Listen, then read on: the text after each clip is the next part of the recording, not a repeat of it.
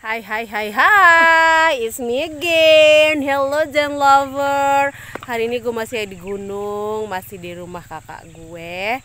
Dan inilah Perjalanan kita mau mandi. Namanya Buwun guys. Nih Sohib-sohib kita. Awas menggir Nih kita mau mandi. Nih Lihat tuh perjalanan ini kita mau ke tengah hutan karena nggak ada air, apalagi musim kering kayak gini nggak ada air sama sekali. Jadi kalau mandi itu mesti harus pagi-pagi. Ini tadi bangunnya kesiangan, cuy. Terus di sini tuh nggak ada toilet ya. Tadi habis BAB no di tengah, no no no no. Mau lihat tempat BAB saya tadi? Tuh, BAB-nya di tengah sana tuh, di tengah kebon.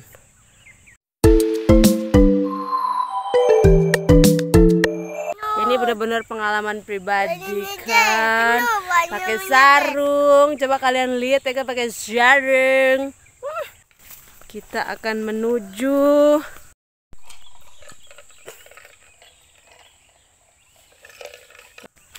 namanya Bunut. Melewati sawah-sawah, hutan-hutan.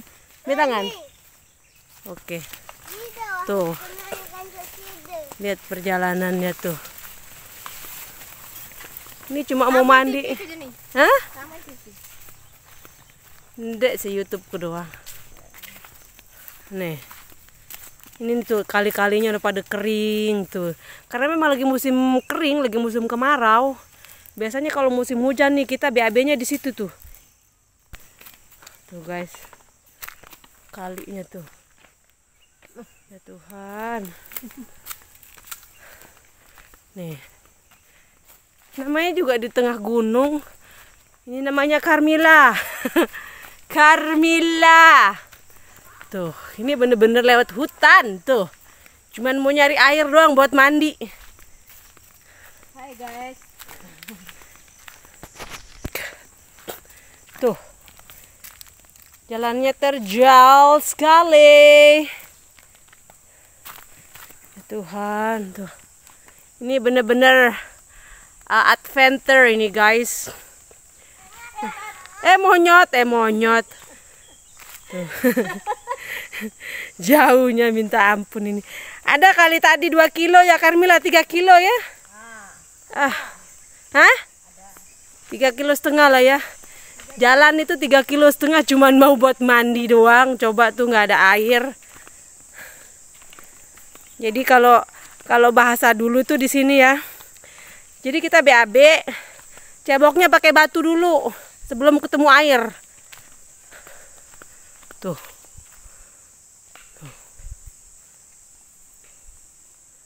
Bener-bener hutan hutan rimba.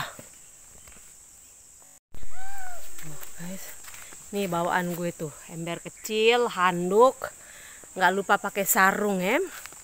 Sarung ini, geng.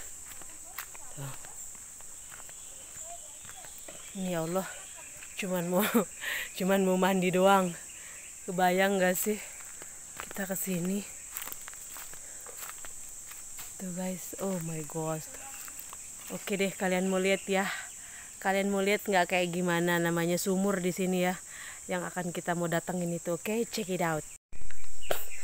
Nih guys, nih yang kita datengin tadi 3 kilo setengah jalan kaki tuh. Hanya begini doang airnya tuh. Tuh kecil. Ini keluar dari lubang batu loh. Tuh. Airnya seuprit kan ini mau buat mandi, buat nyuci tuh. Kebayang nggak tuh dapat dari mana tuh? Tuh dari situ tuh airnya tuh. Tuh. Ini traveling adventure. Inilah bener-bener lagi musim kemarau.